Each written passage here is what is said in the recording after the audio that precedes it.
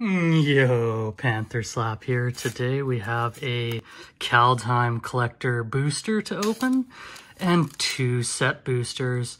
There will be three of these type of videos in total. I'll just be doing Collector Booster and type of three. Got the Commander Legends as a bait.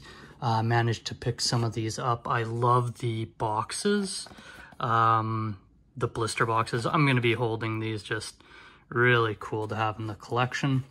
And those are kind of getting rare right now. But anyway, let's dive right in.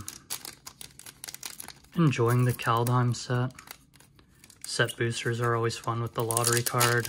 Collector booster, always fun with the just crazy amount of holo, extended arts, all this craziness. So we got our art card here. Oh, it's a signed one. Oh, very nice, actually, to start it off.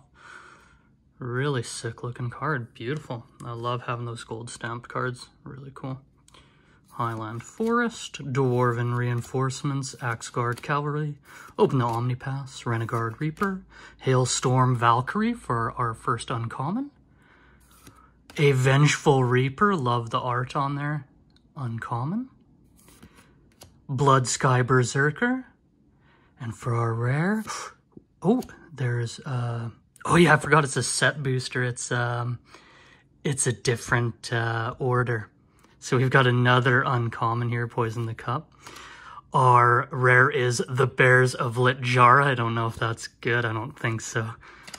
Got a Shimmer Veil, a Horizon Seeker for our Hollow. Very nice, common holo. Oh, we got something from the list. Nice.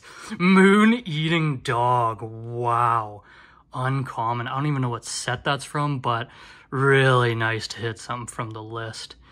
Beautiful. Put that aside there. Wow. So, set booster number two. That was a, an interesting pack. I mean, the lottery slot's always great and gold stamp, but other than that, nothing too crazy in there. Just massacring this pack, of course. And our art card, um, not gold stamped or anything, still cool. Arctic Treeline, Cinderheart Giant, Goldvein Pick, Littjara Seeker, Bergstrider, Pilfering Hawk, Uncommon Glimpse of the Cosmos, Uncommon Frostpyre Arcanist, Uncommon Basalt Ravager, and a rare Maskwood Nexus. Sculptor of Winter. Got a holo Karfell Kennelmaster, just a common for our hollow.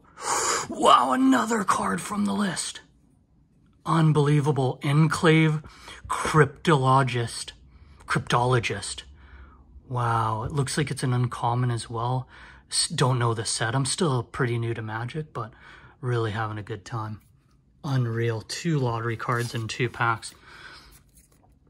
And now the grand finale, the 15 card collector booster, Kaldheim.